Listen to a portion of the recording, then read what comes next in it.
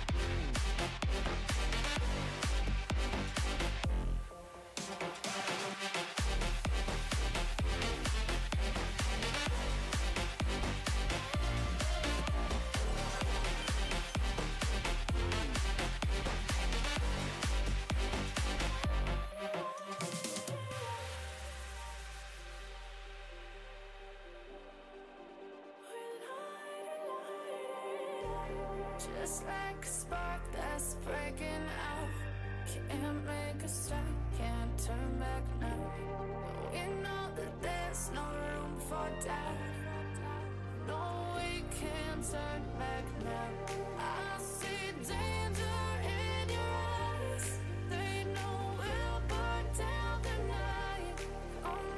Just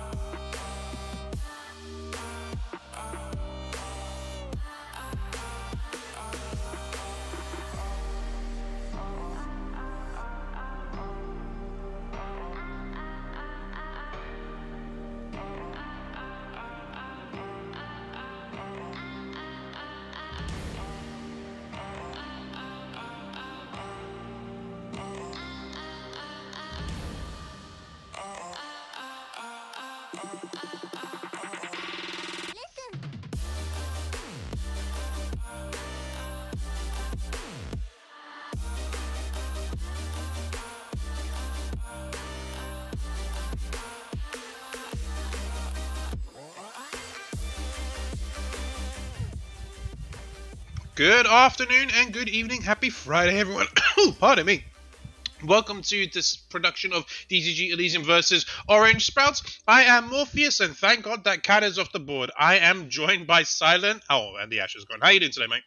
I'm doing well. How are you? I'm good. Happy Friday. Ready for the weekend. Uh, ADC is being hit hard right now on both sides, and the Viego. These are these quick pick and bans are coming in real quick fire. I think the bigger one that no surprise is the fact that Yuumi is off the board. This champion is just stupidly strong in this current patch and is extremely easy to pilot for both teams. Well, especially considering that uh, Orange Sprouts' support is mainly an enchanter. Well, the nice thing is, is that taking that off the table allows Zymphonic to play things he loves to play, like a Nautilus's, like a Leona's. He loves playing his uh, tank engage support. So I'm surprised that Orange Sprouts haven't really put much attention to there per se. Final ban, we're waiting in from Orange Sprouts to come through. Lily been taken off by Elysium.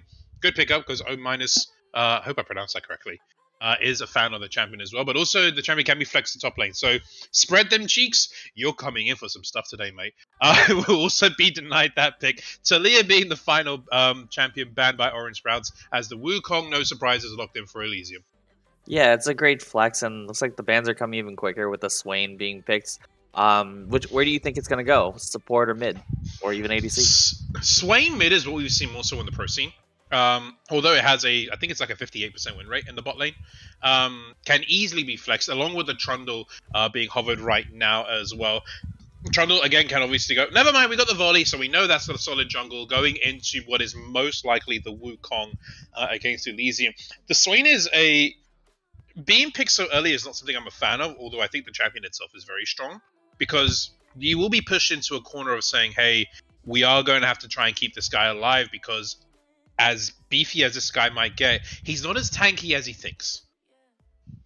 Yeah, it's going to be interesting because with the Wukong, the kind of needs to have that engage. So if everyone is unable to disengage, Swain definitely benefits from that. And as we get the orange, so we kind of figure out where Wukong is already going. Yeah, will be heading up into the top lane. Wukong will going into the jungle. Seraphine being locked in here. Now, here's the thing. It, Senna is off the board, so I would assume that this may actually be a mid lane Seraphine for Lovable. Uh, generally, in pro play as a whole, has a pretty good win rate there as well. And we do see a fair amount of solo queue. Has actually the highest win rate in the 80, well, AP carry role in the bot lane there. So this may tell me that, hey, they made this might be the answer Elysium has for the Swain and just trying to match wherever this champion ends up going.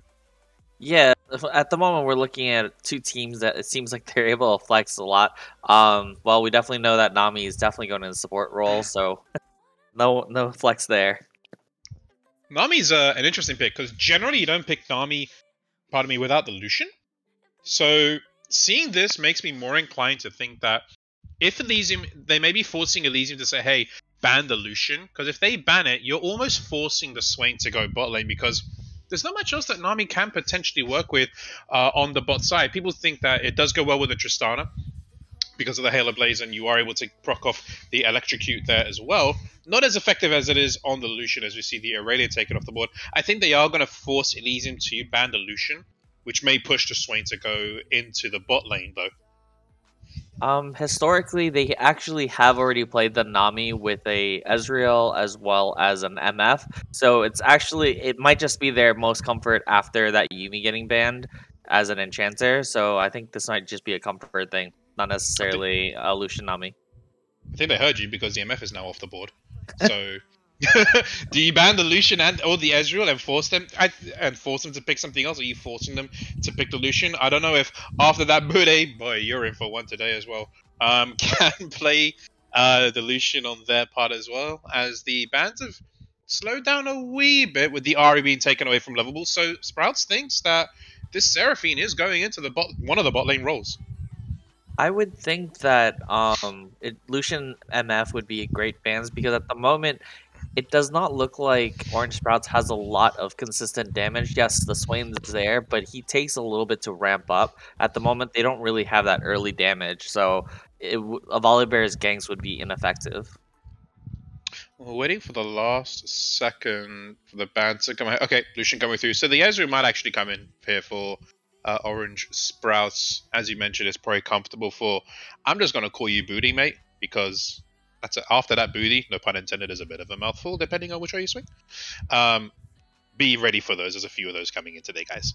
Uh, Fiora being hovered, being locked in for them cheeks. So we're still keeping this Swain flex alive, keeping Elysium on their toes.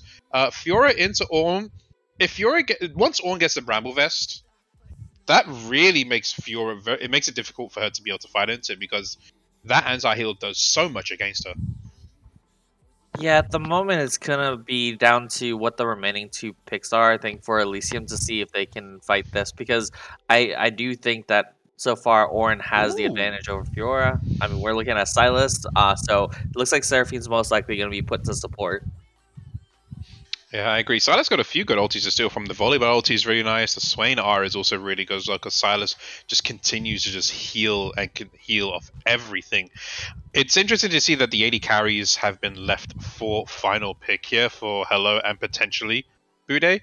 But we'll see what comes in for Elysium here first. I feel like I should have been expecting the picks by now because of how quick pick and ban already went through. Oh. So get a, give us one moment. We are just getting confirmation of what that final pick is for Elysium. Xayah. It is Xayah coming through, uh, which is good because it allows her to be able to have some sort of survivability by herself, along with Seraphine be able to keep her alive.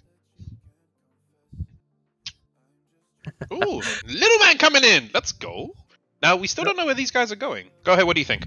So I'm thinking that the Veigar is going to be mid, um, Swain ADC just because of that consistent damage. But I mean, at the same time, Veigar could also go AD. Um, simply Swain will be able to ramp up safely with from Sylas. But I, I feel like I don't know. It could go either way. Veigar, I think, is actually in this case, I think actually better in bot lane because of the Seraphine. I think the Seraphine will be able to poke and you don't really like that as a Swain, especially with how squishy you are in the early game.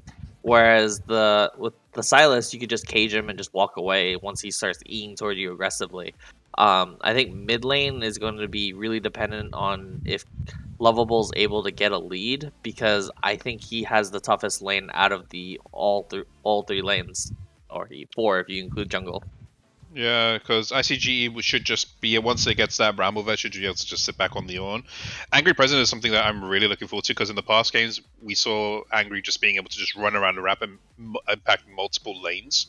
Um, but I do think that this Veigar kind of has to go mid, as you said, to stop the Swain coming in and harassing. Because once you throw the cage up, there's nowhere really for uh, Sylas to really go. Swain going bot lane. Now they have the double heal down there, but Xayah is able to farm at a distance, and Seraphine can provide as much safety and security uh, as needed there as well. Also, the, as far as you consider gank setups go, if uh, Oathkeeper ends up going Predator into Veigar, which did get heavily hit uh, as of this patch, it would make it a little bit more difficult for gank setup there. My thought is that O minus may be focusing more to the bot lane. I honestly, I think that he kind of has an option of all three lanes simply because he's playing Volibear. I, I feel like it's going to be harder for Wukong uh, to kind of synergize with the remaining members other than mid lane because Sylas wants to go in, so Wukong wants to go in.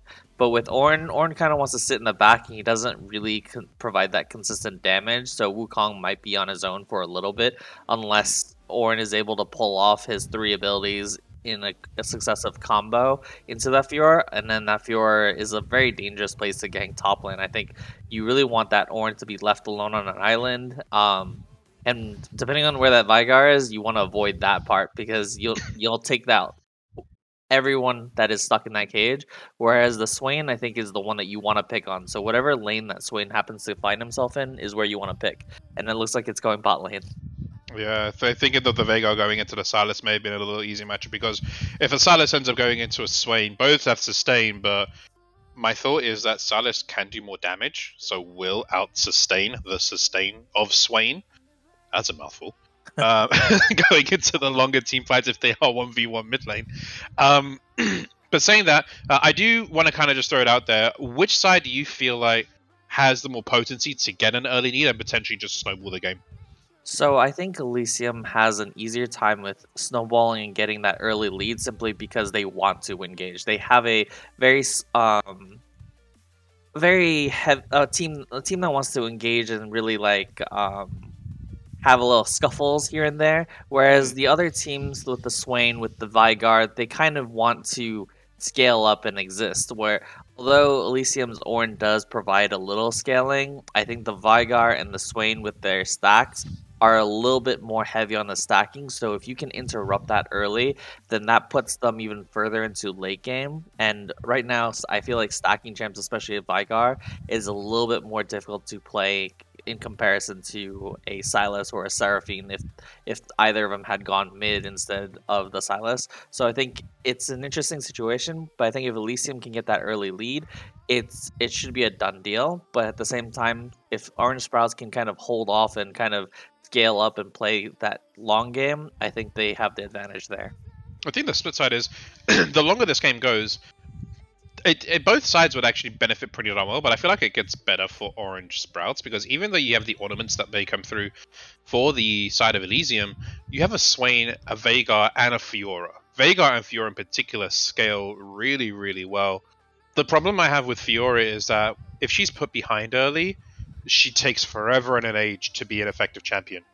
But if she is able to get a gank early from O minus onto ICGE and them getting somewhat of a lead, Fiora then has a chance to take over, just straight up take over the game. So with that, we're going to quickly jump over to a spectator delay, about two and a bit minutes. Don't join, don't go too far. Grab yourself a nice cup of tea or a glass of wine if you are ready for the weekend to join us as we see Game One of Easy, uh, DZG Elysium going up against Orange Sprouts.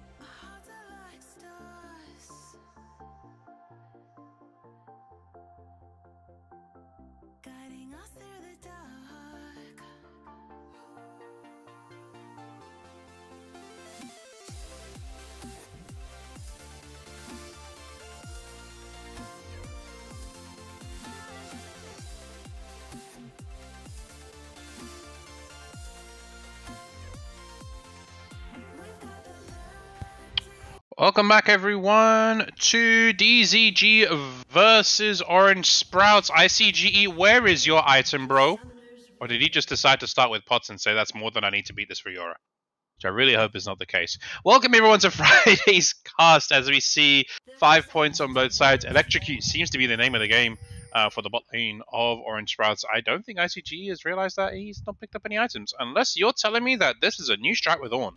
So it is one of the strats with Ornn, since Ornn is able to buy items in lane as long as they have the gold. So it's going to be interesting to see if he's going to go for that early cloth armor, or whether you know he's going to go with the typical ruby crystal at the start of the game to force out the Bami's uh, the Bami Cinder. Um, in, it is interesting to see that um, Orange Sprouts is offering so many for the domination tree. Two electrocutes, I mean, I don't know how Nami plans to proc it without continuously autoing, since you know. Well, I guess you could offer it with the Swain E Q and then and hopefully an auto. Um, so we're looking at a You'd lot have to of land the whole thing, yeah. no? yeah. So it's gonna be interesting to see if that electric Q is gonna be proc for Nami. At least I know Swain will most likely be able to. So double electrocute. It's gonna be Yeah. interesting to play. No, you're fully right. As we see both junglers starting on the bot side, um, both top laners are kind of hiding to make it look as if the junglers are starting on the bot side. As Lovable is, I love this about Lovable, not afraid to just move forward. It's like, hi, let me touch you before I end up backing up in lane. Top lane, I expect this to just be a ball fest. Uh, I, I expect them cheeks to attempt to spread ICGEs, but not really quite get much anywhere.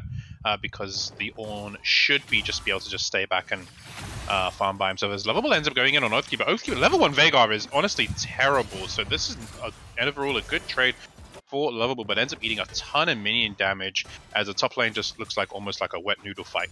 Uh, as we see bot lane also just hitting level 2 first, walking in forward, and Valenlia gets rooted up. Hello is moving forward here. The pull from after that booty doesn't quite do much, but good trade in for, Disease, uh, for Elysium. Yeah, especially with the Symphonic pushing him off the wave, so Swain definitely can't continue CSing. Um, it's gonna be interesting to see if mid lane can kind of keep the both mid lane and bot lane to keep the waves kind of more on their side than where they want to be, because you don't really want to be frozen out so far with a Volibear potentially ganking. But luckily, Volibear is looking at top lane. Yeah, I would imagine this is where O minus is really going to be sitting, purely because the bot lane has. Well, speaking of, O minus shows ICG sees it and says, "You know what? I'm gonna walk away." As the root comes in from Symphonic, hello, gets a fair bit of damage off as well. This bot lane, as much healing as they're meant to have, is having a little bit of trouble sustaining against Hello and Symphonic, as O minus is coming towards mid cage misses from Oathkeeper as well. Yeah, we see that exhaust and ignite chosen by their their bot lane, so obviously they're not going to have that healed. So it's only going to be Swain's W if he ever lands it, as well as Nami's W. So it's heavily on some mana intensive items. So at the moment, we're going to be seeing a lot of trading, hopefully in favor of Elysium, um, with the way that the scaling from Veigar and Swain will be in the late game. Yeah, um, it's interesting to see how slow the game has started. This is probably a good thing for um, Orange Sprouts because you don't really want to be fighting a lot knowing that the Swain is fairly squishy early. Even though his Electric is lovable, ends up tapping Oathkeeper some more, is able to dash out of the cage. Oathkeeper has very little mana left. Um, o minus is also following the bot side. So it just looks like what's going to be just a full clear and then potentially back here as well. I would like to see O minus come bot because I do agree in that it's just probably the best place for them to be able to get a gank set up. But the amount of poke that's coming up from Symphonic and Hello is going to be a lot to deal with. Yeah, it's going to take a lot of um, synergy for both junglers to kind of get a successful gank off, simply because warding is definitely key in this game.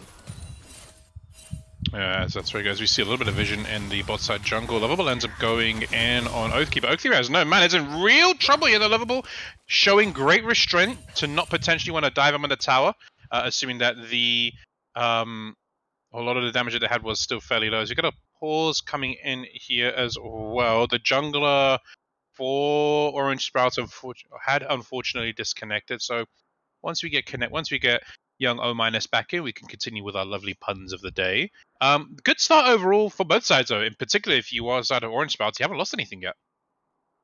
Yeah, especially with the orange sprouts wanting to scale, it's not so bad that they're roughly about two to four CS in both scaling lanes. Um, obviously, the biggest difference is top lane, where Fiora is successfully at about 15 CS more. But I think that might be mainly due to the fact that Volibear showed up and forced Ornn to back off the wave, which unfortunately was more in favor of um, DZG's push into the turret. So that meant that he lost a lot of the wave that he could have gained. Um, but luckily, both junglers are roughly around the same CS as well. Mm-hmm. So not really much has been lost on the side of Elysium. Um, one thing I do want to throw out there is we see Hello's taken lethal tempo. Now there's been this whole debate of is lethality Xayah still good? Should you be going crit now? Do you go Gale Force? Do you go Kraken? Where do you think Hello is going to end up going with this? Because lethal tells me you're going to go down the crit route.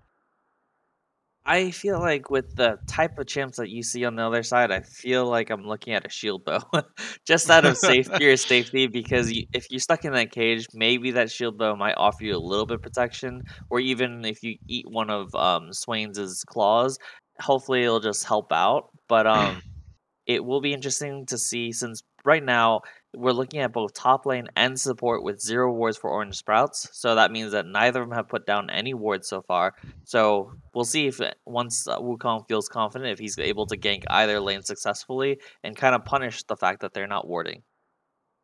I think once uh, the Ornn hits six, it would be a lot easier to be able to get upon this Fiora because she only has the one riposte. So if you have the knock double knockups potentially coming through from Angry President, the knockup coming from ICG, the slow coming in from the Ornhorn starting, you do have a potential lot of gank setup once you hit six. Um, obviously, Fiora has a very good chance of being able to turn around fights. It's just the nature of her kit. But if she does fall behind, like we said, it will make her very difficult to really participate in these in these fights. TP tells us that hey, she's going to be going some form of team fighting uh, with the rest of Orange. I do want to have a look at bot lane is because Hello and Symphonic have really tried to be pushing in uh, Booty and Valenlia quite a lot. It hasn't surmounted in much of a um, difference as far as CS goes yet, but I do imagine that they're going to want to try and keep them under their tower though. Yeah, I think it's a great strategy um, to keep him under a turret because Swain definitely has a difficult time trying to CS because if he happens to use his Q, he's affecting multiple minions unless he can perfectly position his Q to kind of only affect that one minion that he really wants. And it's going to be interesting to see if this Nami can kind of is only meant to keep sustain in that lane and then, you know, help elsewhere once the game starts going toward mid game. Um, but it that Seraphine's kind of punishing the objective right now and forcing them to stay under the turret and allowing Xayah to safely CS. I think that is a good thought in saying that hey, Valenlia is only there to just to keep Bude somewhat survived in lane, and then afterwards we'd be able to affect other champions on the map. Uh, specifically, Oathkeeper, Veigar isn't the most tankiest of champions, and realistically, a, a build, the build you go is going to be Frostfire into deep into decap. If you don't go decap second, you're losing a ton of damage uh, at that point, and um, it's just uh, maybe forced if they end up falling behind, maybe forced to go down the Zhonya's route, which is not something that you really want to see uh, from a Veigar, because ultimately your goal is just to delete someone with your win button. And then we did see the Ornn, I guess, regret his earlier choice of just going potion because he got that starting item of Doran's Shield.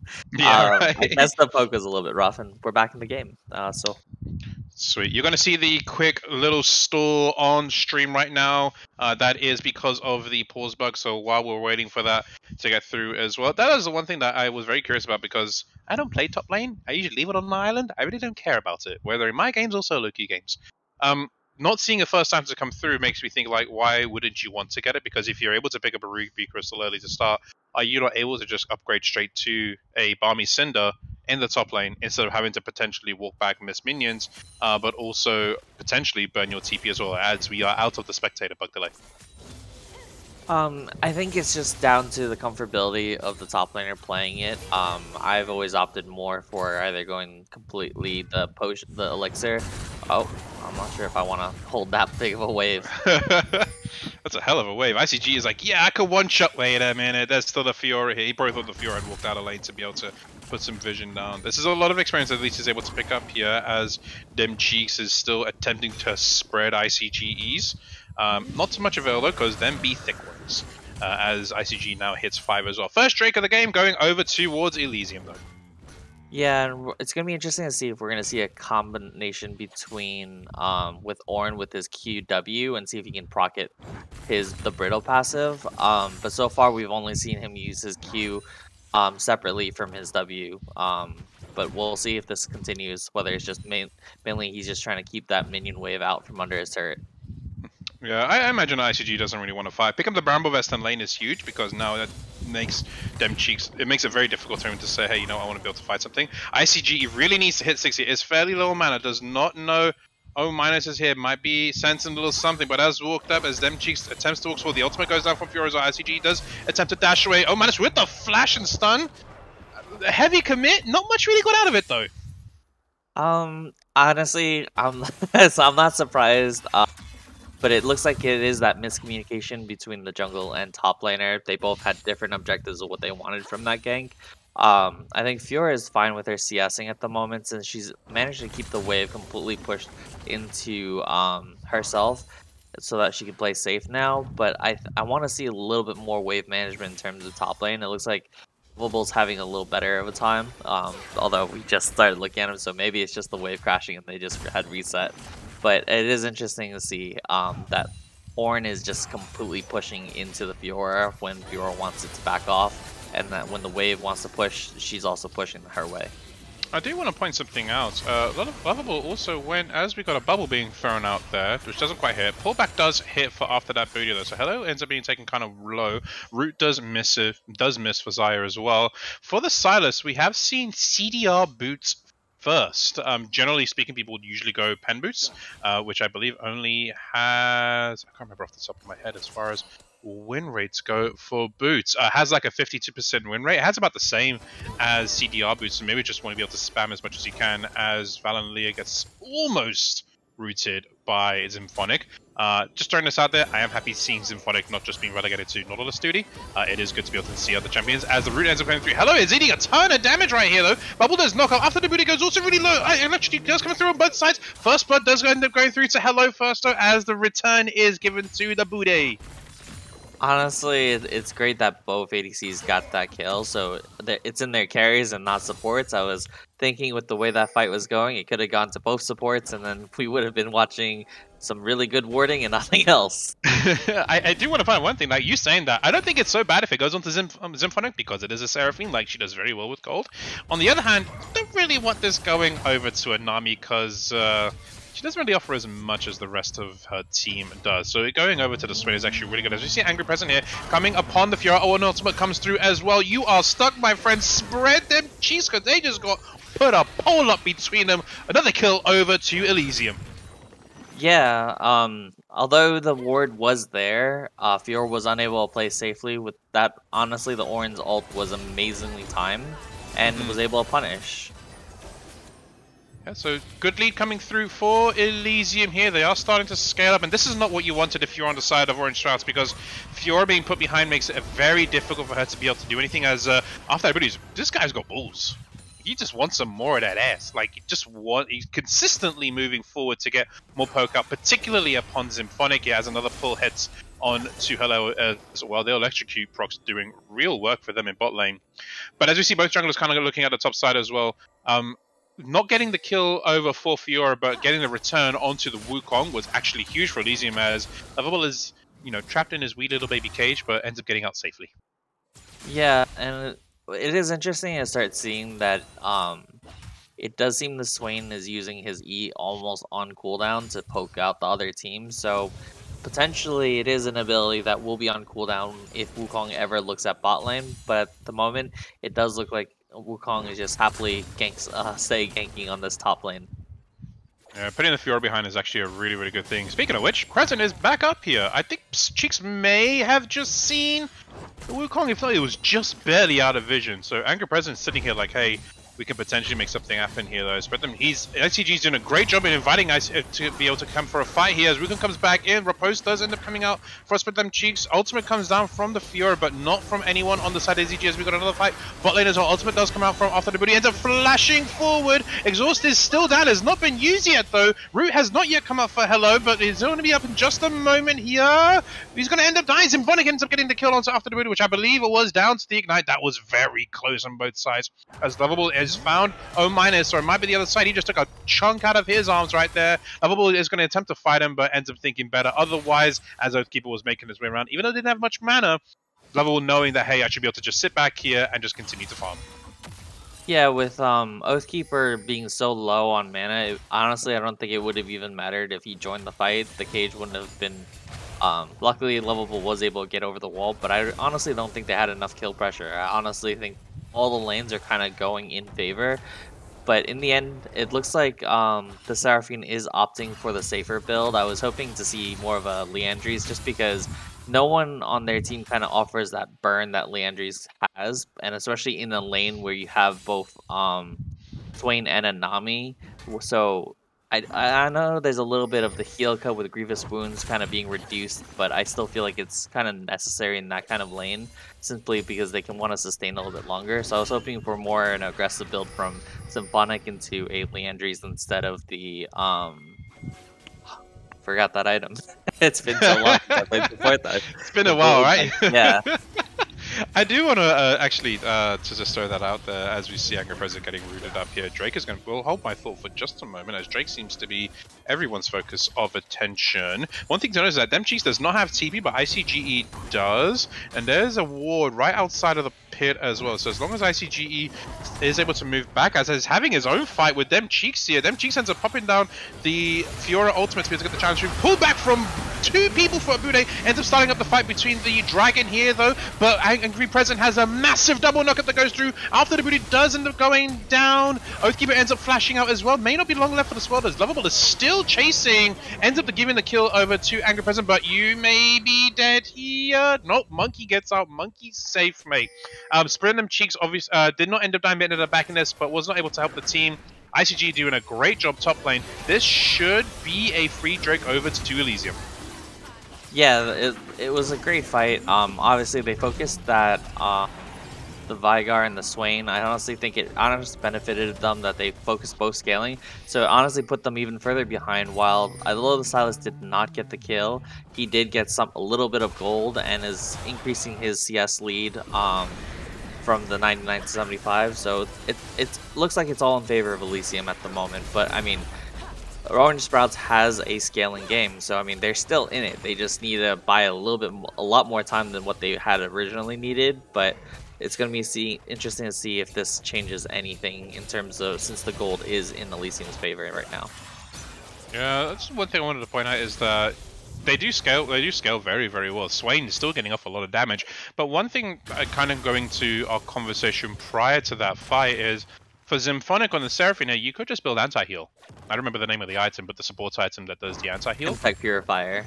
That's the one. If you just build that, like that's more than enough anti-heal that you would need for the rest of your team. As Lovable is really enjoying playing around with Oathkeeper right now. There's fights across all across the map right now.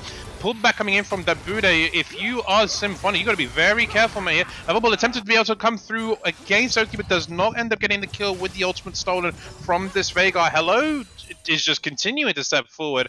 I'm actually really enjoying how this bot lane is playing out because both lanes seem to be wanting to play super aggressive with neither jungler end up showing. Both seem to be focusing around the subside as Hello is about to step forward into the booty, gets caught on the pull back here. Ultimate does not come out from the booty, but it does come out from the Nami. Has not has rooted up the Nami actually, so not able to continue moving forward. Symphonic is not quite dead yet. It does end up going down to the burst from the booty as Hello has to back up now. As we see the ultimate coming top level to use against the Ornn ultimate here, the Angry President does get the second knock up here on to Dem Cheeks. But guess what? Volibear is here. Oh minus is here to make sure that Dem Cheeks do not get spread this time. Um, I want to. I, I feel like Symphonic got a little bit baited with by trying to say hello. Honestly, I think in that situation, you both have a kill. Honestly, uh, me personally, I'd be like, unfortunate. My ADC got in poor positioning. I'm I'm gonna do what I can to keep you alive, but I'm not mm -hmm. gonna mm-hmm. put be between that Swain and the rest of the their team. Um, so hopefully we'll see something different. Um, we did see Symphonic go for the safer um, support item. Hopefully that provides some additional healing. Um, but I mean, with Swain going Liandry's, that burn's going to be also um, really detrimental to any kind of healing that will be provided by Seraphine. So uh, honestly, I think the Liandry's would have been better. Yeah, I think I also agree with. I think the Liandry's would be nice. The one problem with Liandry's is it does take a little bit longer to get into. So while it doesn't do more damage, you are playing a little bit more scaling in that sense. But this allows you to just say, you know, we are able to have a little bit more power early as well. And we've noticed, right? Even though Hello steps forward, Symphonic as a Seraphine is able to keep Hello alive, maybe more so often than he should have.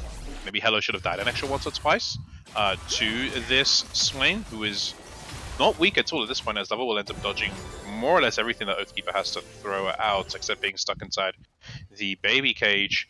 Um, I do think that would have been a little bit better, but I do think the anti-heal uh, Chemtech Putrifier coming through, hopefully for Symphonic, would put them in a lot better position, because think about the amount of healing that is on the side of Orange Sprouts. Fiora heals, Volibear heals, Swain and Nami as well. It would affect the entire team pretty darn heavily, as Angry Present has got a thing for them cheeks here. Like, it's just consistently up here. As the ultimate is going through, coming through again, and Spreadum does not have the uh, ultimate, or does have the ultimate, but not the flash. So they are really trying their best to continue to put this Fiora behind, even though she is up 20 CS. All ultimate does come through for ICG, ends up nailing. They are fully committing this and get the kill over to Angry Present, who is now 4 and 0 on this Wukong. Yeah, I want to say that the top lane jungle synergy between um, DZG Elysium versus the top lane jungle synergy for Orange Sprouts is just in favor of Elysium. It's just flat out camp. Both sides have looked at top lane ganks and Orange Sprouts' ganks are unfortunately were not successful and were mostly to keep them off, but we're looking at two plates here. Two, two yeah, there should be second turret going out. Yep, that second turret going down. Elysium, they're actually going to continue pushing because they've noticed everyone from Orange Sprouts is down here at Drake. Drake is not up for another 28, 20 seconds or something, lads. You, you have to defend this turret. This is maybe not the whole turret. Go, it does go down, and Dem Cheeks is going to try and continue to chase Angry Present. Fiora can get the kill onto here though, but ends up parrying the knockup that comes through from ICG. Angry Present is at 1 HP, but ends up giving the kill over to Spread Them Cheeks. Can continue to chase this Ornn. This Ornn is probably not long for the world. Doesn't have flash, but is maybe able to get over this one. Got bounced backwards as Level Lovable ends up walking forward into three people here. The Zephyric ulti from Seraphine is huge coming through, but I don't think Level is going to be much left for this one. The lifesteal of this Sylas is disgusting as one goes down, two goes down, for DZG, three goes down for Elysium as Oathkeeper is like, hey, I want to help out, but ends up trapping. Lovable here ends up going down. This dragon was, I was going to say, secure, but with the Fiora here now, I don't think you can really contest this. I think you have to back away. Yeah, uh, it, it looks really favorable for DZG Elysium until they stayed overstayed in top lane, and then the Fiora managed to get that kill um, on both of the laners that had been pushing, both jungle and top. And on the other flip side, it was interesting to see why that Veigar was not in the fight since they technically had numbers on the bot side. Um, I guess Veigar just really wanted to make up for the early farm that he missed on, but he was able to come back and kind of take out Lovable, who had overstayed and uh, honestly, I think they should just reset waited for the jungler um, before trying to do that. Simply because you you have a Seraphine that has a more um, has a support item. I really really need to figure out this name of this item. um, and you have Xayah that has been able to put out damage, but has a Gale Force. So you're talking about two items that don't really offer that much damage, and a, and Silas had taken the brunt of the damage from the Swain. And Alright, so it looks like I'm a solo show for a little bit. Um, but we're looking at Elysium do the dragon right now. And it does not look like Orange Sprouts is going to contest.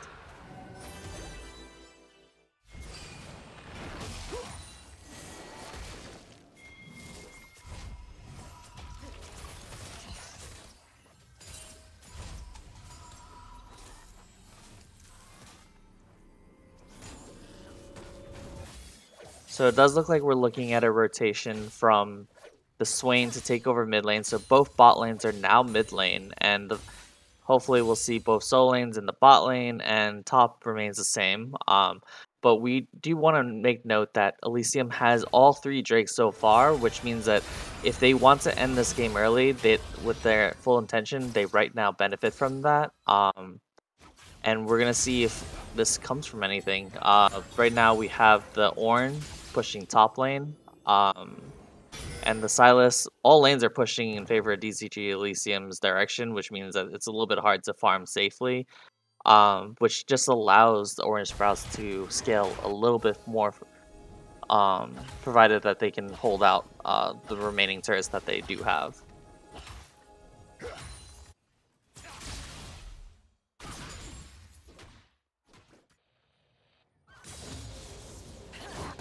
It does look like it's just farming for everyone. Um, I was hoping, you know, DZG Elysium would pick up on a little bit more aggression and try to capitalize on their lead. You know, whether it means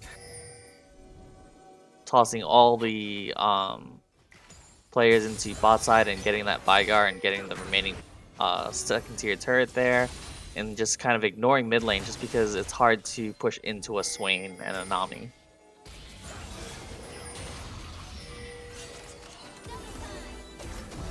That's a great route by Symphonic, but is it worth the fight? We're about to find out. Looks like it is. Um, with DZG Elysium's lead that they have had, it does look like Orange Sprouts. Oh.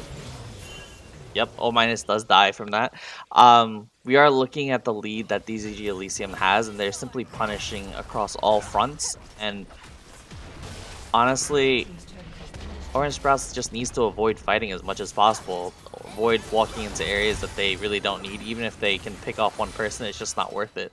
If Symphonic has his Seraphine ult there. Veigar is trying his best to, to defend, but may also die here. And there goes Oathkeeper.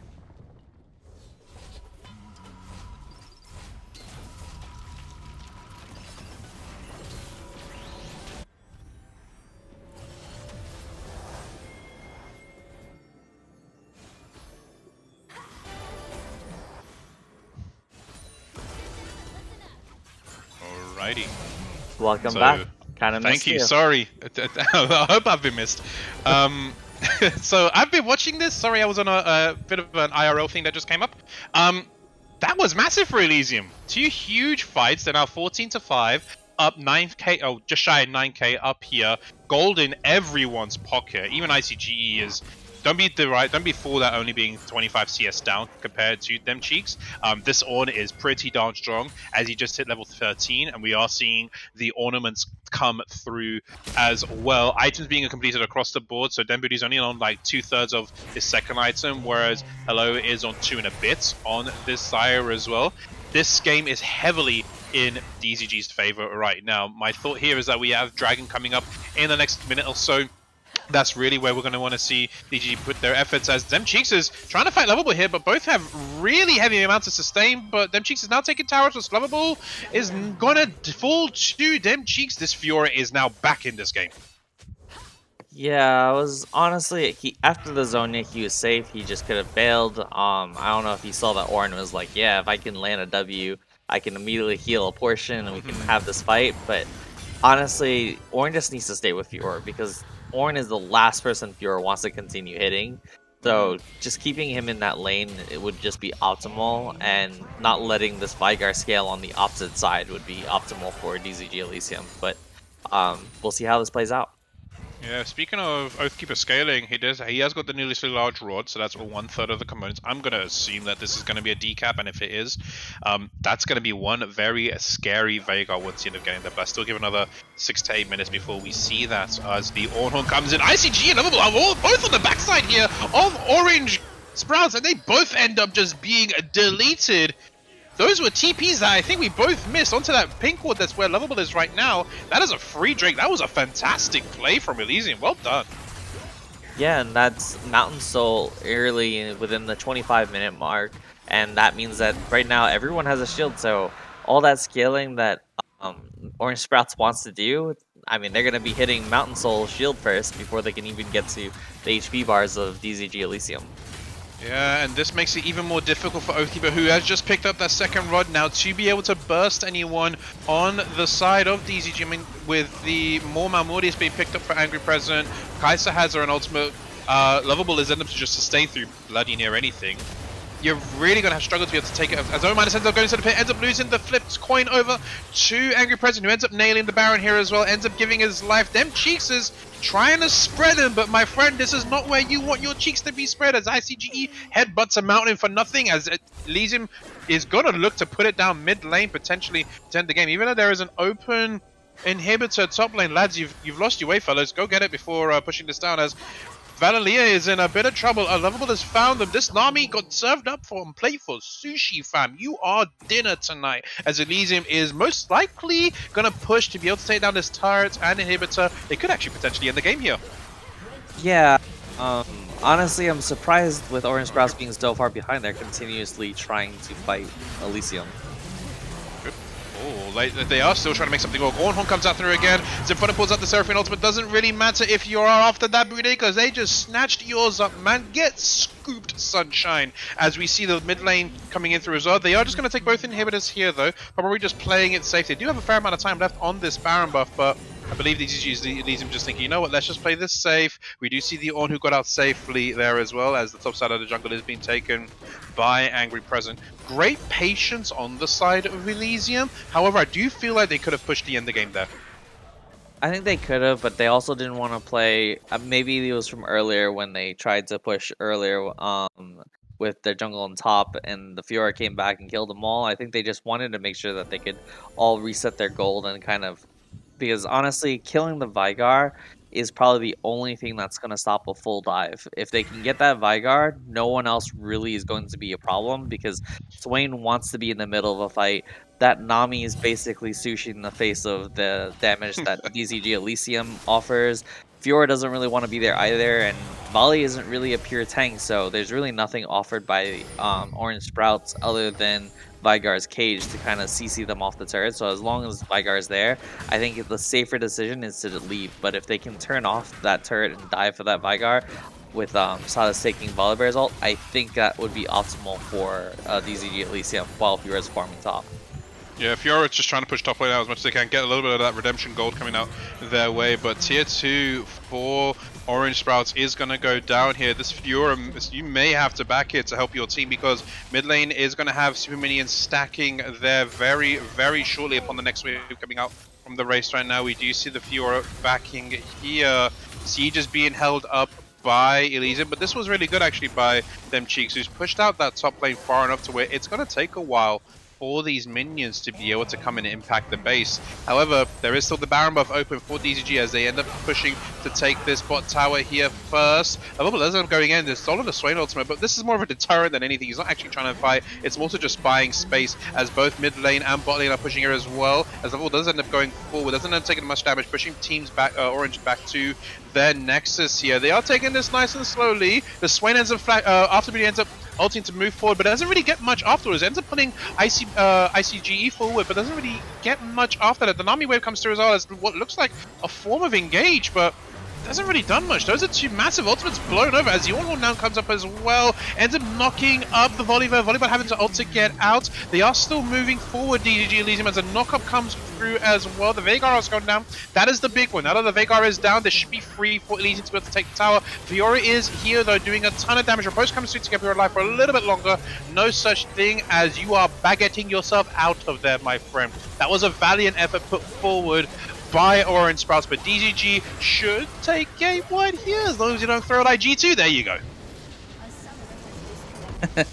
well, that was a great game one, and hopefully we'll see some stats as long as, you know, Riot's client doesn't decide to bug us too much.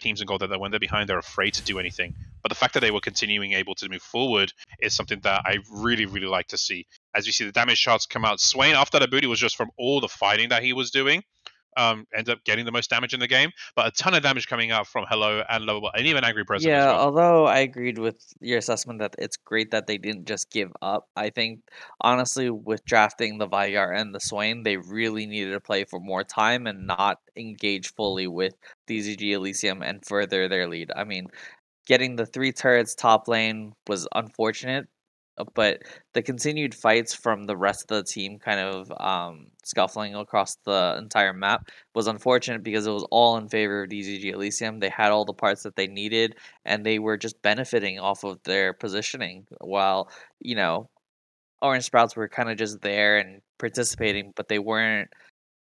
They weren't synergizing. It just didn't seem like they were coordinating properly.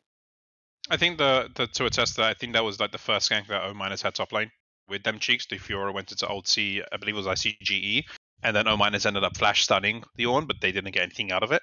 Um, my thought is that coming up into game two, maybe just pick something a little bit more simpler. Like if you're going to pick the Nami, you have to pick the Lucian with it early as well. It's okay to show that, uh, because that's the reason you pick those. It's like picking a Senna TK. But with that, we're going to jump into a quick intermission. Don't go anywhere as we have game two of Elysium coming up against Orange Sprouts, with Elysium currently holding a 1 0 lead.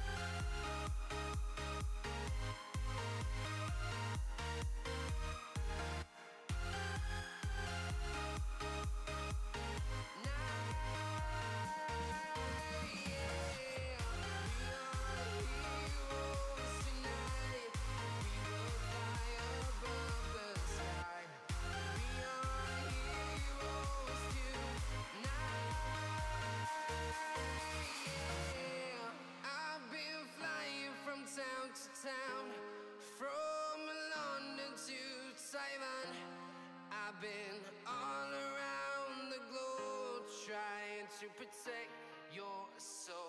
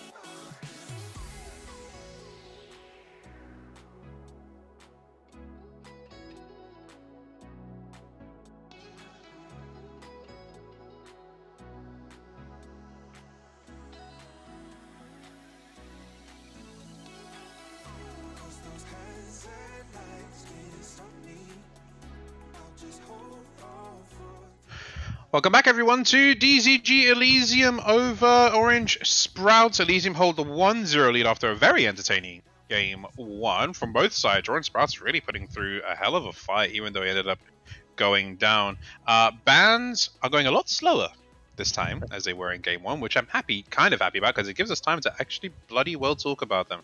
Ash, Yuumi, and Viego are the same three that have been banned from game one, though. Yeah, I don't really expect much of Elysium's uh, draft to change just because of how successful they were with that first initial draft. Yeah, maybe they'll still take the Senna and the Lilia off the table here as well. Um, for those who don't know, like I was when we saw the Nami come out for Orange Sprouts, we were like, okay, maybe the Lucian coming through, but obviously it was taken away. Swain is on the hover to being banned by Orange Sprouts though, so this seems to be a contested pick on both sides. Now the question is, does DZG still ban the Senna, or do they leave that and the Taliyah up, which are the last two ones that were banned from game one. We want to see what really has a priority here. Uh, Taliyah is still good, but isn't like B1able as it was compared to last patch. I think if you have it in mid, I think Lovable just destroys it just because he wants to engage, and that is the last thing any mage like Taliyah wants. Mm-hmm. As we see the Senna coming through, Wukong being picked up by Orange Cross, no surprise here, are going to be the best, arguably the best jungler in the game right now, provides just about everything. That one small change to his dash to be able to go over walls really did make all the change in the world. Yeah, it's gonna be interesting to see how. Um, I I feel like the Seraphine deserves to come back. I want Yeah. to see Seraphine. It was just ep- it was optimal in all the fights. Like you, I honestly have no complaints if the Seraphine is picked safe first. I think he heard you. I think Symphonic heard you. He was like, yeah, you know what? I'll, I'll run it back, mate. I would like to see the Taliyah coming through Aura for Lovable as well, though, because being able to just get around the map that quickly uh, is actually huge for DZG. They seem to really enjoy playing the team fights together. Almost always you saw them grouped up as five, and Taliyah would actually do really well into pairing with that. Um, can still technically be flexed though, the Seraphine. You can give it to Lovable, you can give it to Symphonic, can technically go for Hello in the AD carry role as well here though. As we see, nothing has been picked. The Diana, oh, let me see some Yasuo coming through, but the Diana coming through, assumingly for Angry President. Yeah, I honestly think it wouldn't have been bad to pick the ADC here since it does seem like um, jungle is the primary. So uh, if this is the jungle pick, it's I feel like it's a little bit early because you don't really know if the Wuk. I mean, potentially the Wukong could be flex still, and the Diana kind of has a one track of always going in. Um, we're looking at a Jhin and I guess a Nami maybe. But Just Jhin coming through is very interesting. Um, and Jhin as a, as just an AD carry because of the durability patches, still hits like a truck. Once you get Jhin to three items, still hits really really hard. So going into potentially a Seraphine, like, do you have a fair bit of advantage as far as power that goes there, though. I am very curious to see what they end up pulling through with it. A Tahm Kench with a Jhin is not something I see all the time. No, um, at the moment we're looking at a Tahm Kench that you know is going to be in that middle area while the Wukong engages. Jhin wants to sit back safely and kind of autos, especially in the late game when everyone kind of on the other team kind of deletes him, especially with the Diana and the Seraphine potentially ulting him out of his ult. So we'll see where what the next pick is. Probably the ADC. Yeah, we're looking at another Xayah pick. Yeah, Xayah Seraphine. I'm assuming it's going to be a Seraphine bot lane for Symphonic there because last game it went really, really well for them. Um, if this TK does end up going in support, then it does give Seraphine a little bit more, a bit more of a chance to be more aggressive because even though Tahm Kench has the ability to be able to go forward, like you can still heavily poke him out of lane though. Um, do we see the Yasuo come in for DZG, or are they going to force potentially just for wombo combo sakes um, Orange Sprouts to ban it? As the Veigar is taken off the table, they noticed that that was something that stopped them from being able to siege as quickly in game one. But seeing that comes to the table makes me think, okay, you you are going to want to pick something else as controlling, but is going to allow the Diana to be able to just fly right in as the Taliyah comes off the table as well. Wonder if the Ornn is gonna make it through because right now DZG Elysium can pick it next, and obviously the, if they're gonna play through top, if Orange Sprouts wants to play through top lane, they can't have a obstacle like Ornn in the top lane. That's actually a good point. You have to take that away. Oh, so this is a theme. They they're picking champions that stop the side of DZG to be able to just essentially have a go button and just run forward. I would imagine the Ornn has to be banned here. No. Don't tell me you're actually going to ban the Yasuo, are you? I, I would think the Ornn is a better ban here because it just enables the team more. I mean, But- there's there's still no guarantee that Diana is actually in the jungle. that still can be played mid, as the coach of DZG Elysium can attest. Yeah, uh, shout out to CJ though. My guy will just play Diana at any given opportunity. Yasuo coming through as the ban here for Orange Sprouts as we uh, p- enter second round of picks. Um, for DZG, it has to be an AD mid lane, I would imagine. Yone is still an option as well, although it doesn't quite pair up as well as the Yasuo does. The Sejuani is. If this comes in, this is going top lane. So we've been planning. We've been playing this all around DZG with a lot of the teams here. Um, Sejuani top, shout out to uh, Awkward Tofu. Uh, this thing is a beast, and really, a lot of teams underestimate the amount of damage that she has, but also how beefy she is. I mean, I think it works as long as potentially that's not a Fiora again, because I feel like Fiora just outduels her as long as she can, f- f- to a certain point. Like I think level one and two, Fiora just simply outduels her. Lord. Yeah, I agree. As we see that Mordekaiser coming in is an interesting one, so we'll be able to fight Sejuani pretty darn easily, as well as when we get into the team fights, can pull someone out to just 1v1 them. As far as everyone that DZG has picked right now, I'd imagine Mordekaiser, if he's at least even, should be able to beat all of them. As Ahri is picked as the last one for Oathkeeper, basically now is on a much more mobile champion to be able to get himself to reposition if needed. Yeah, what do you think is going to be that last pick that kind of solidifies everything? Sylas, Sylas, Sylas. Like Sylas is great here. Like you have Mordekaiser R, you have Ahri R, you have Wukong R. Like it gives you a lot of agency to continue to move forward. But or, ideally, I'd like to see something AD come out to be able to. No, never mind. I called it, bro. Give me my DZG dollars right there. So Sylas being locked in for lovable going into game two. Yeah, um, honestly, I feel like this this version of DZG Elysium is just very hard to pinpoint exactly what they want to do at draft. Uh, very early, they throw a lot of flexes in, so like except for like maybe the ADC role, it's always kind of straightforward, kind of what you expect. But every other role kind of has a little bit of a flex that you can kind of be like, is it really going where it's supposed to be going, or is it going to go somewhere else? I feel like that's like a DZG thing. Like we're often saying, I, I, can I can attest to this playing on Olympus. There are times where we're like, all right, we pick the Trundle. Well, we could play Jungle Trundle. We could play it tough. We could play it support. We can even throw it mid in the hands of Scoops. Shout out to Scoops. Um, you're not getting an AD carry. I'm like, oh, I want to be part of the club as well. It's a DZG thing where we end up thinking, you know, who wants to end up where we, even to the point where we end up confusing ourselves. Um, but the Sylas coming through here for Lovable is actually really good because the ultimates you can steal uh, on the side of Orange Sprouts are actually pretty big. The probably least effective one would be the Jhin, but stealing Wukong, Mordekaiser, and Ariels are actually pretty darn big for him. Yeah, as if Sylas wasn't having an easy enough time with landing his E's. Now he gets Ahri's dash to land them. that should Yeah, be right. an interesting um, combination. But I think honestly, I wish Riot never had gotten rid of Adaptive Helm because it just makes. I feel like these these kind of cases where you have an AP heavy team, there's nothing to really stop that item anymore. And the two mythics are li- for tanks are literally for armor, not even magic resist anymore. I do want to throw something out there is I know this was a thing when Sylas was released, and I don't know if this is still a thing, but if Sylas and Mordekaiser both have ours, and Mordekaiser ultis for argument's sake the Sejuani, and Sylas is around and, uh, and ultimates to Tahm Kench, let's say is still around, does it become a 2v2 duel in the Shadow Realm? Are they Yeah. in the same space? if they happen to be in the same area. So, like, if say for example they're both fighting in mid lane and they're within, depending on where the ults are casted, those if the circles happen to touch, yes, they it will be a two v two fight. Yo, only here on DZG Gaming do you potentially see a 2v2 Yu-Gi-Oh! duel in the Shadow Realm coming up.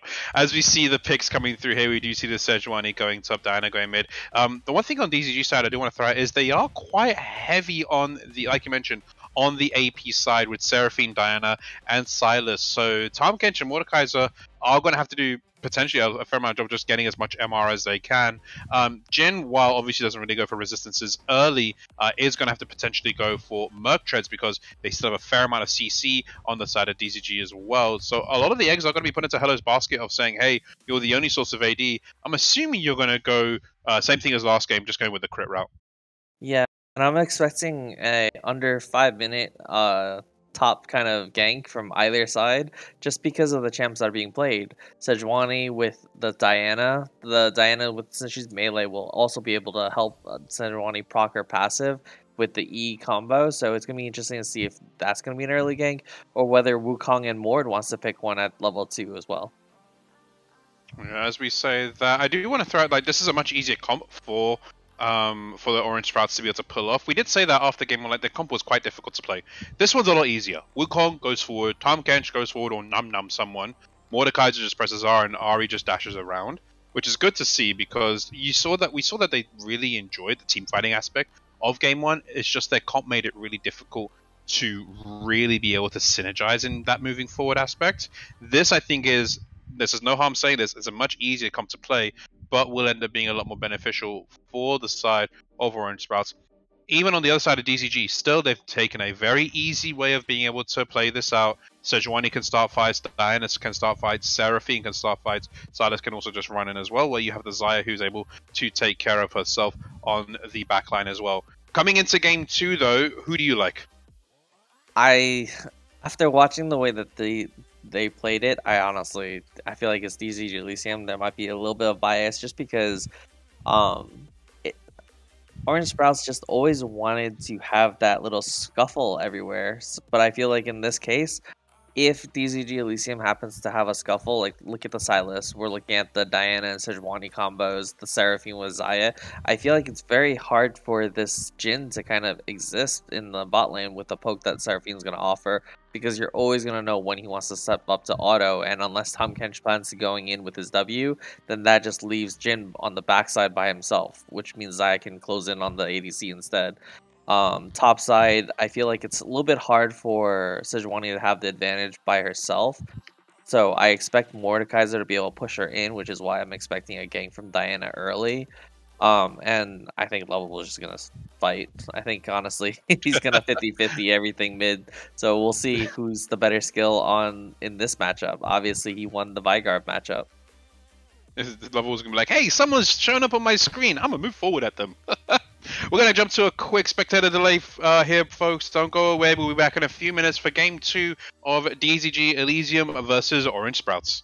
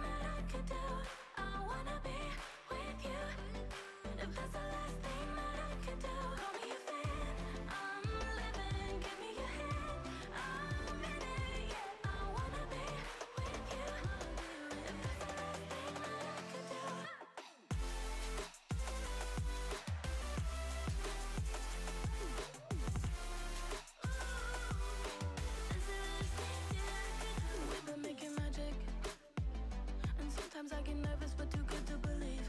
I don't know how it happened, but baby, I'm ecstatic that you're sticking with me. I'm waiting, trying to be patient. You look like a painting. It's so frustrating. I hate it, yeah. I probably shouldn't say this. I probably should erase it. I probably shouldn't say this.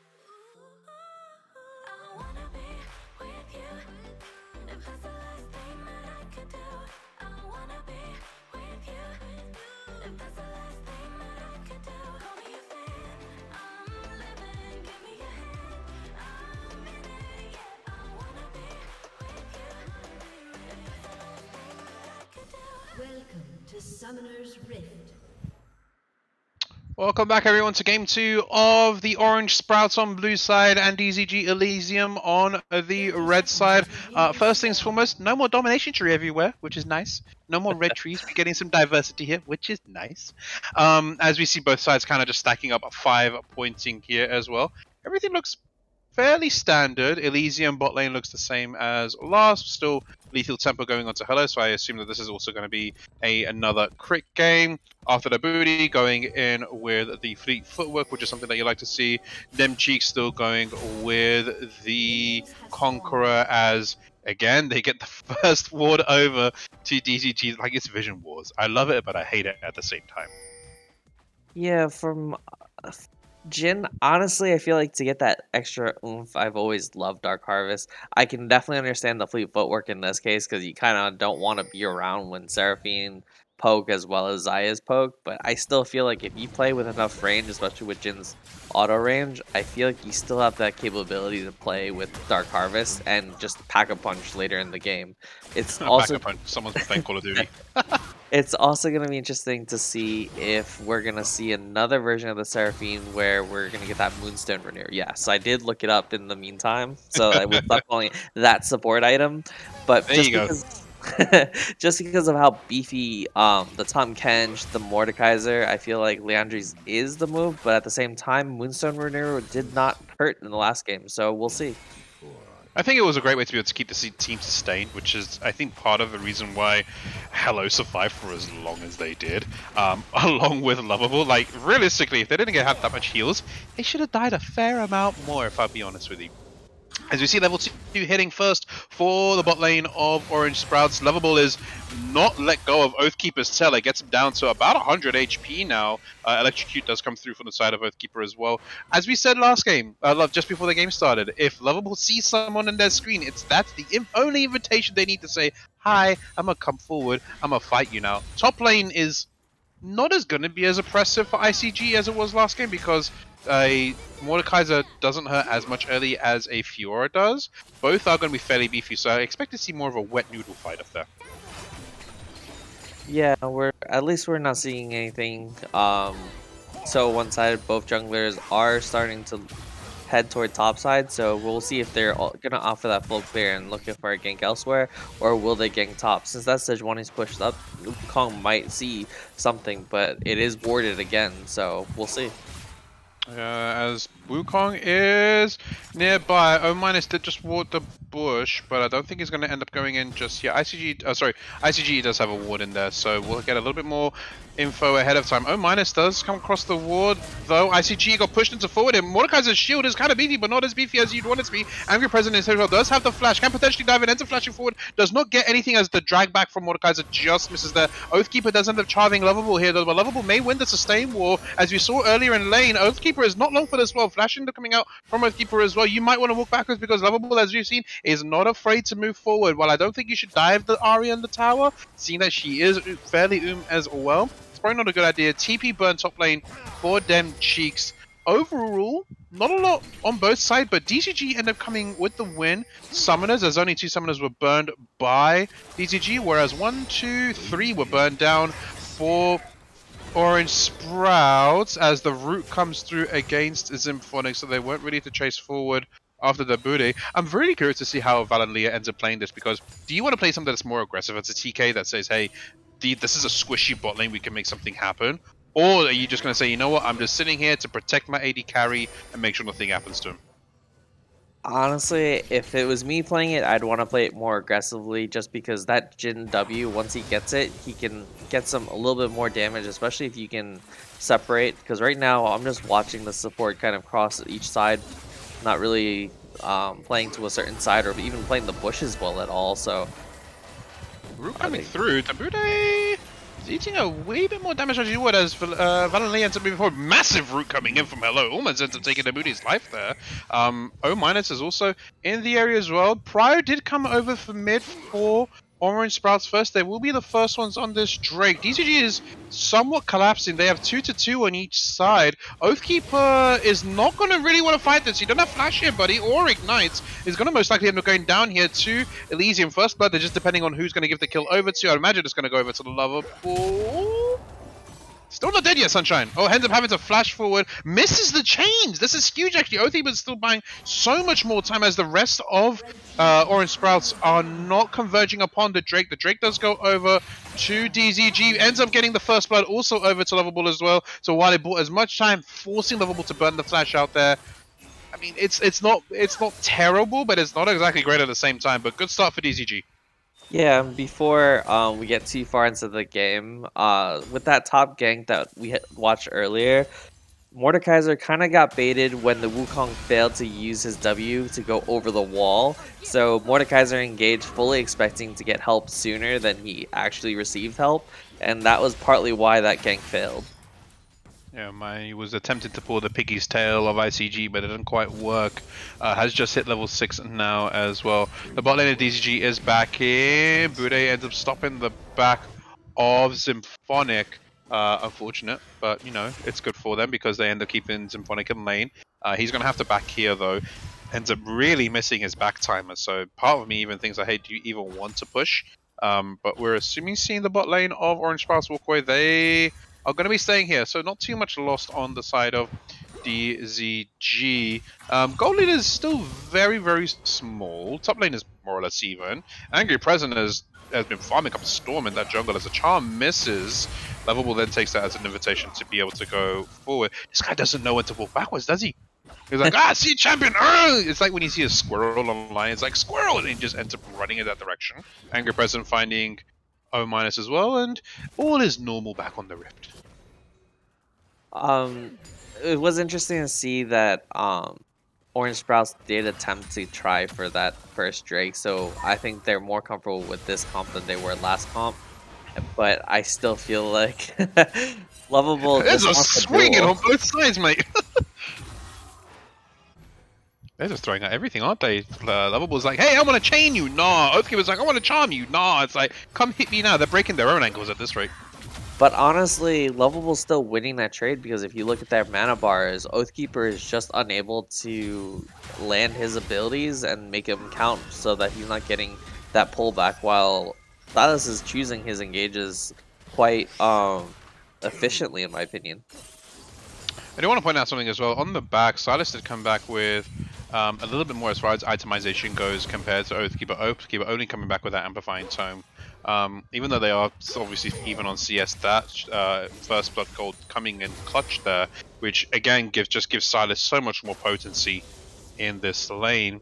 But Hello is being chased down by Man in a Mask and some and an overgrown catfish, but ends up able to keep it himself safe there. Mid lane, I don't. I just expect Lovable will just continue to just be a nuisance to Oathkeeper as he was in game one. Um, we see the top laners have both decided to roam a little bit. I don't imagine we'll be seeing much up until the next Drake comes up. Symphonic slowed down from Dabude. Now, if you are Orange Sprouts, how do you want to play the next 10 minutes out? Honestly, I would try to farm as much. If I was mid lane, avoid dueling Sylas. Obviously, he wants to engage every time you use your charm, so you want to play a little bit more range. And Mordekaiser, I feel like can abuse the wave management a little bit more because she simply wants to step in to farm. But if you can force her off and keep the wave on your side, there's simply nothing that can Ooh. be offered. Charm hits just out of tower range, though. Uh, the charm hits, but is it really worth it? Oathkeeper already low on mana and literally is unable to clear that next wave that's about to hit the turret. So in the end, I think he loses out. As you see top lane, ICGE is uh, having a little bit of fun.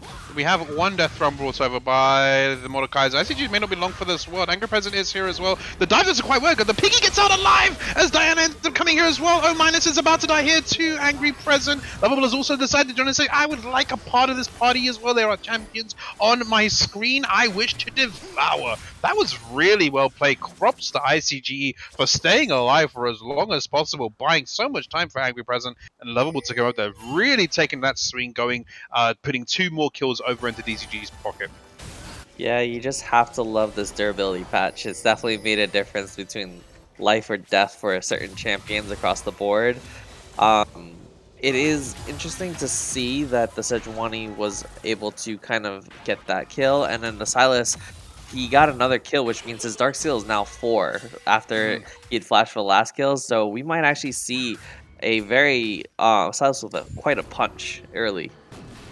You, you, you know, we ever wish you see like you know players that have the um the the what's it called the Adobe eye tracking system that lets you see like where they're looking. I'd love to see where Lovable is looking because I swear every time there's a champion in this field of view, as top lane ends up being a little bit more of a noodle fight. I don't think this is really going to amount to much as Cheeks is still trying to pull move forward but ends up getting stun locked. Lovable is like, oh my god, Oathkeeper on screen must move forward. He was losing more HP than he was than Oathkeeper was and still decided to move forward. This guy, I love the aggression as you see the uh, first Drake being going down, second Drake in this game, but first Drake going forward to Sprouts.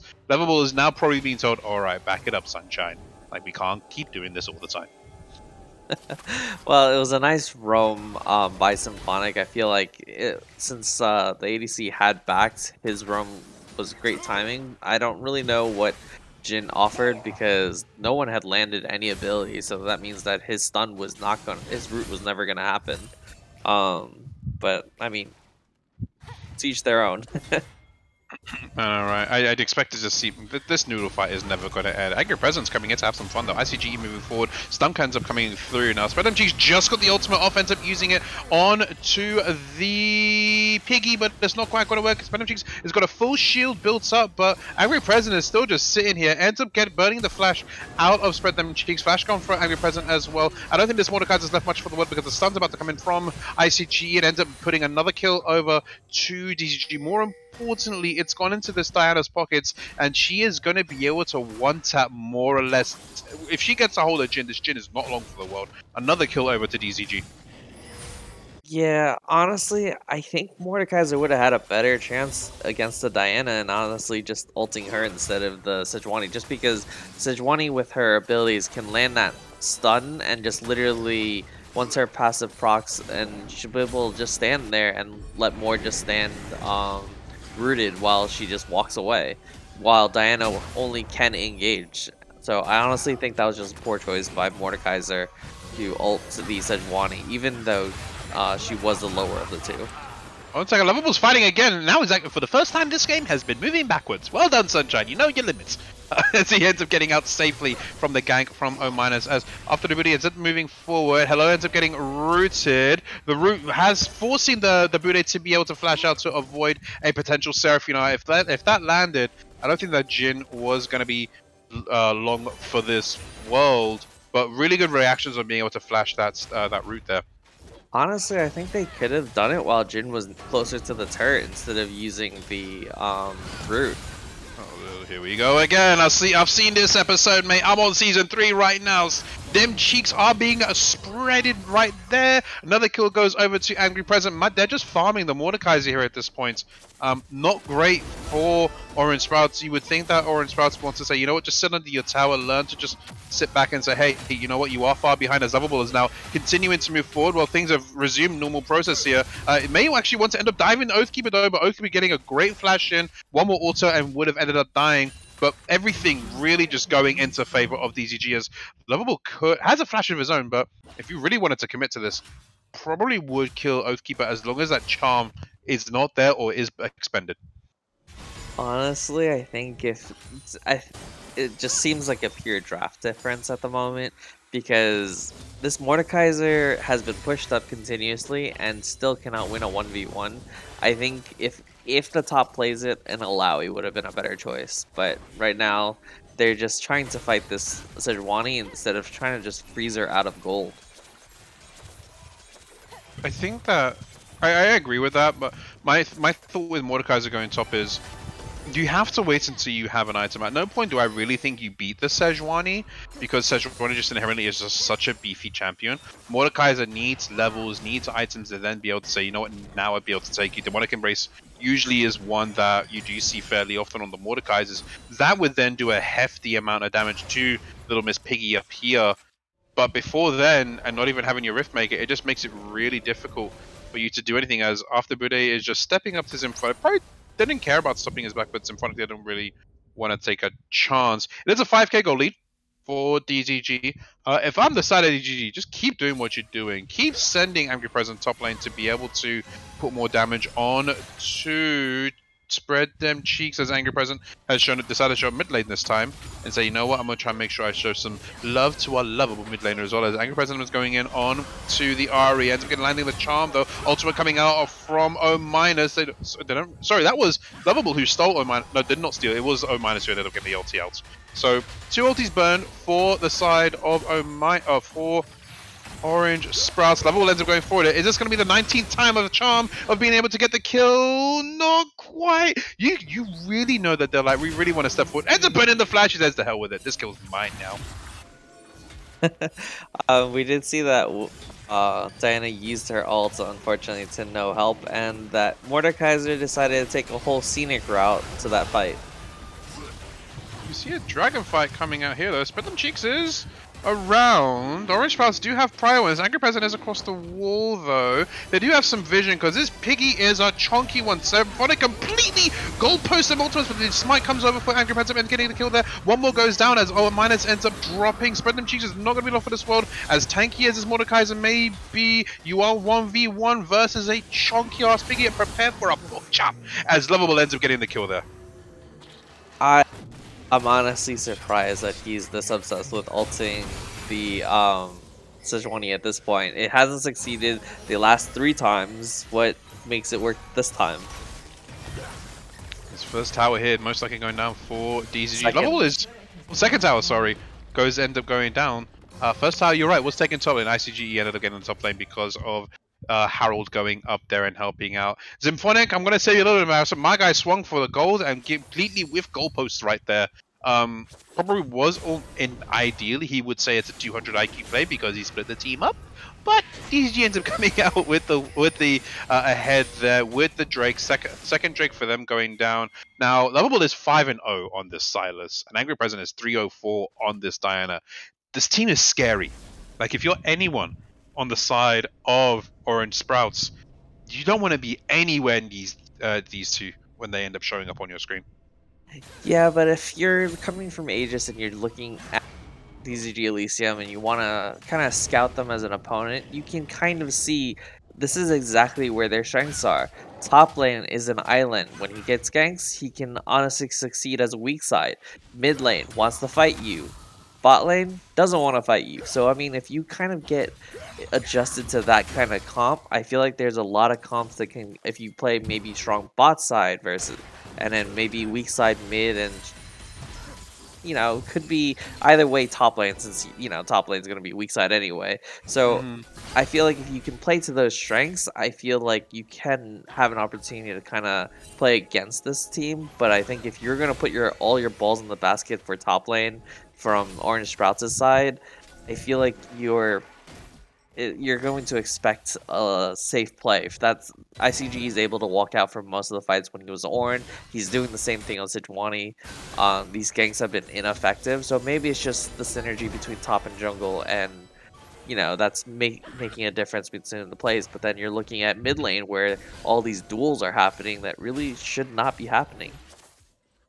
And saying that, they are putting their attention into Shelly now. This will be the second rift of the game going down over to DZG.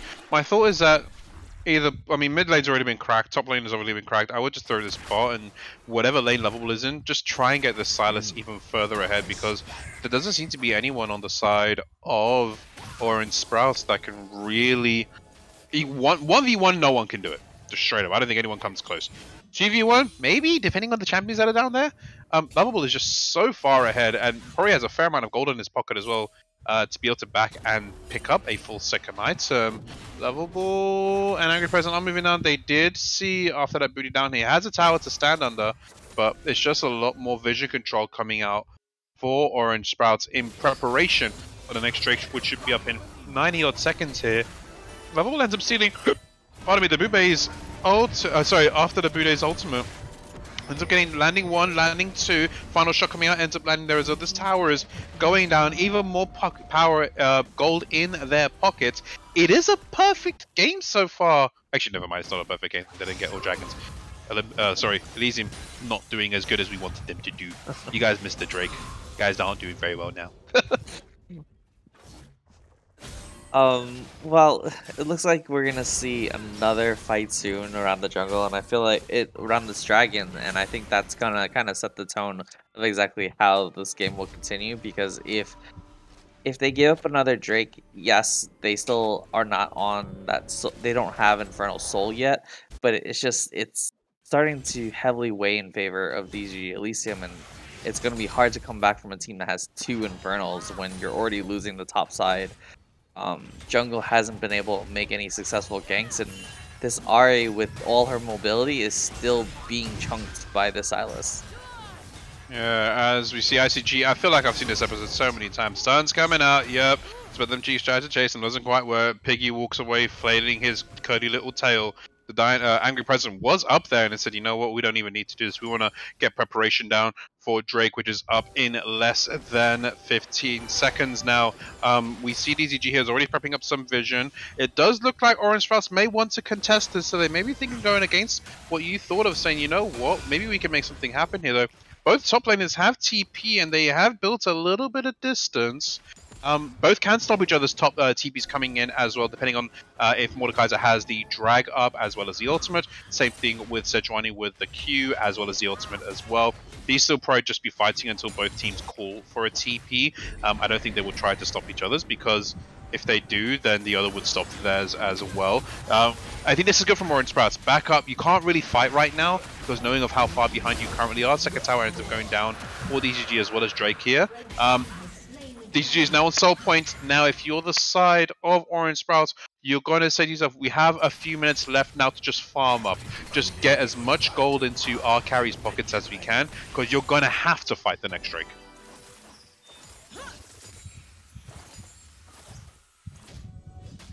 And then, as we see DZG slowly moving up top side, clearing out a little vision up there. Baron is up. I don't expect them to start it. Uh, if they did, then I'd be a wee bit concerned because you'll be coin flipping a Baron that oh, O minus is probably still going to be able to get into the Drake pit fairly easily here.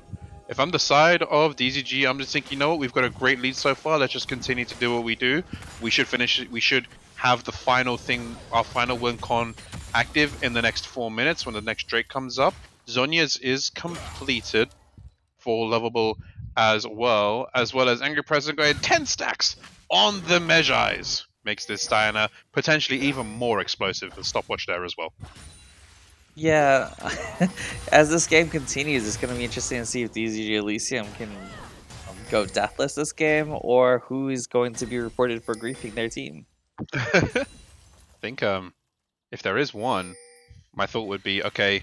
Lovable will probably be the only person I can think who may die because my guy has just been. My guy knows one speed, and that is go. He just moves forward. As uh, Orange Sprouts, do you see a couple members of Elysium walking past the Baron pit as they see them mid lane here? I imagine this is going to be a bit of a lull period.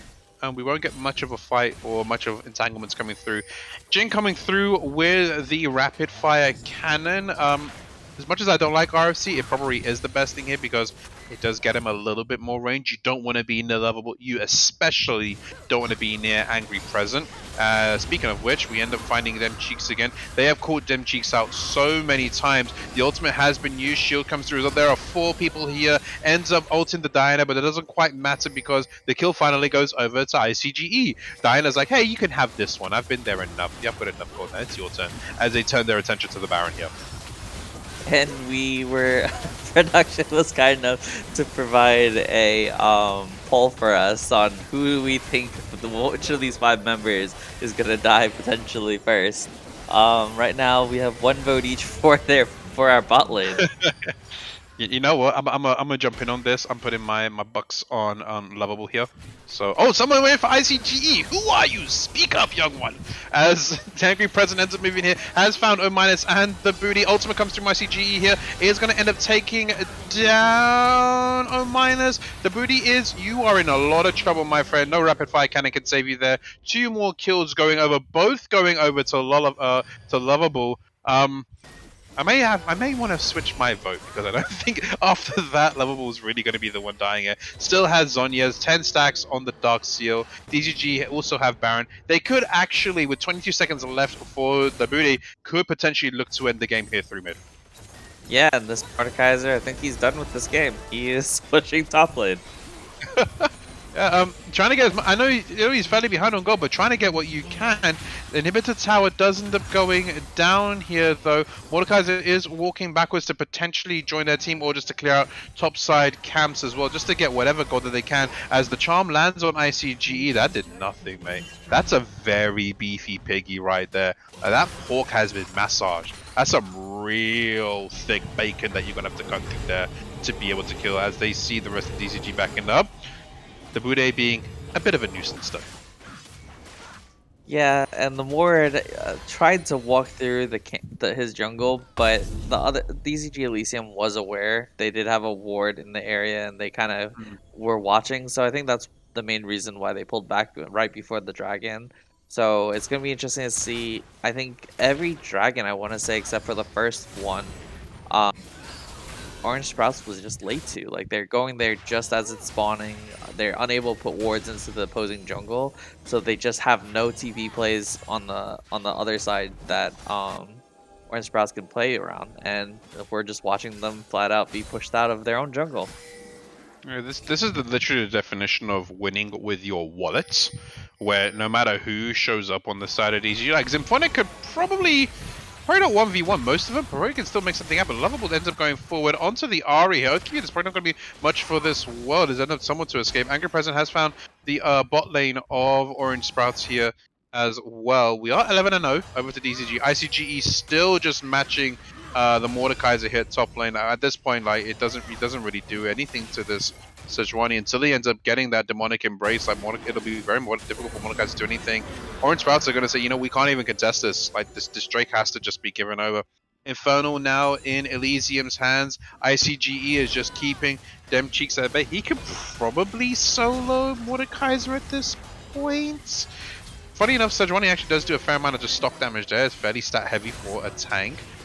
As DZG ends up going middle lane to save the inhibitor here. The ultimate has been stolen. Great ultimate going in from Angry President. Going in. Two locked up there. The fish and the fox are down. Monkey still alive as the man with the mask is going to have a knockoff as well. That kill ends up going to Angry Present.